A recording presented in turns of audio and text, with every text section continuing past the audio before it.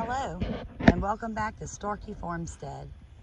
All right, guys, three days ago, I did a foliar spray of worm tea on my plants. And, I mean, like, it grew. It really grew. They all grew. So, by the way, just to stop and point this out, this is peppermint it's also planted over there. It's great pest deterrent. They all grew. Now,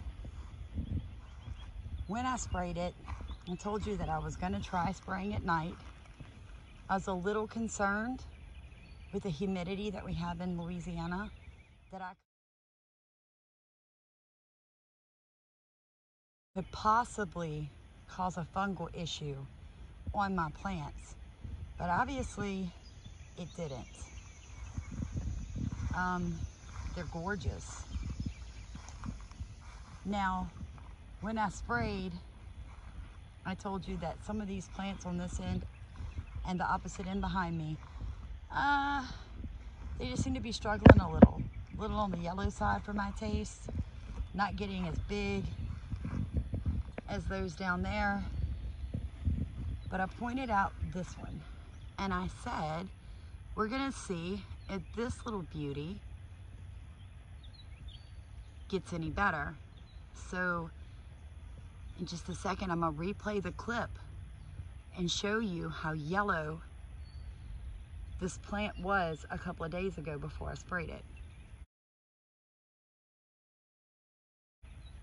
It looked a little more yellow than this guy right here. This one was more yellow than that. But now it's closer to the one beside it. Okay, so the point is that the foliar sprays really help. Your plants absorb a tremendous amount of nutrients through their leaves. I mean, think of it like your skin. This is their skin. So they can absorb through this. So you have to be really careful and you have to really think through what am I putting on my plants? Because whatever this plant absorbs, that is what is going to show up in the food that you eat. Okay? It just makes sense. If your skin absorbs something, if your lungs absorb something, that shows up in your bloodstream, right? So that same concept it's going to work with whatever you put on your plants It's going to inevitably, there's no way around it, end up in the fruits and vegetables that it produces. So when we say that we're organic, there's a reason for that. When you think of things like pesticide, fungicide, herbicide, it has an I-C-I-D-E in it. Look up what that means. It means to kill. So if you're putting something on your plant that has a purpose to kill something else and the plant absorbs it, if it can kill the fungicide, the weeds, and the pest in the right dose, it will kill you. Now, the theory behind that is you're not going to drink any of those.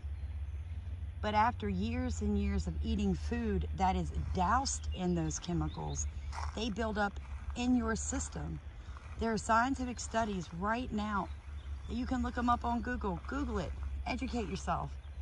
That in utero, in a mother's body, the amniotic fluid around her baby, there has been known when they have drawn that amniotic fluid in women in America to have up to 26 pesticides inside of the amniotic that her baby, amniotic fluid that her baby is growing in.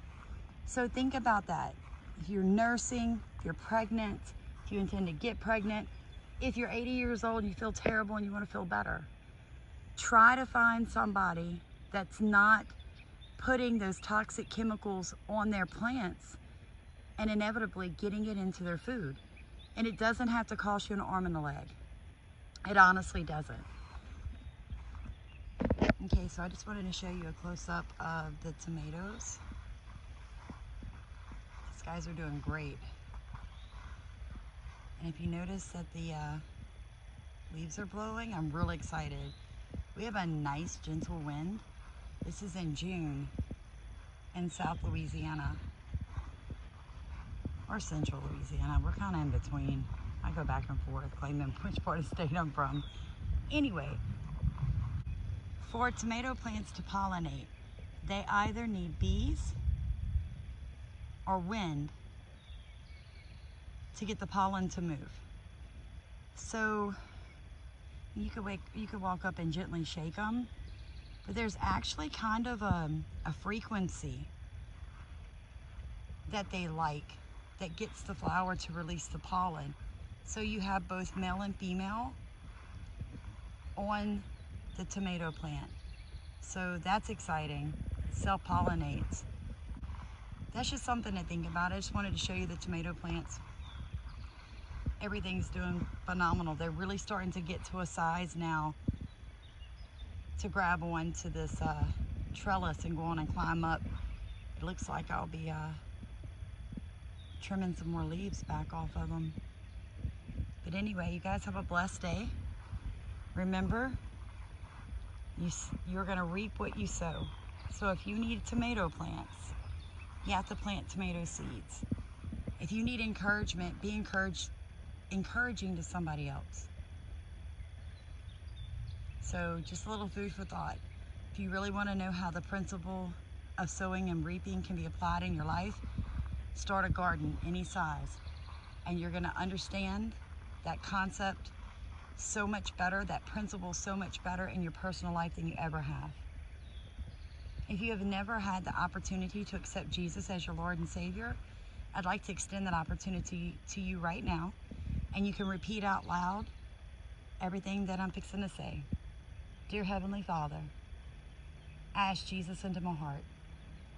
I ask you to forgive me for my sins, wash me white as snow, cleanse me, redeem me, rejuvenate me. Fill me with your Holy Spirit. In Jesus' most precious name, amen. Have a blessed day, everyone.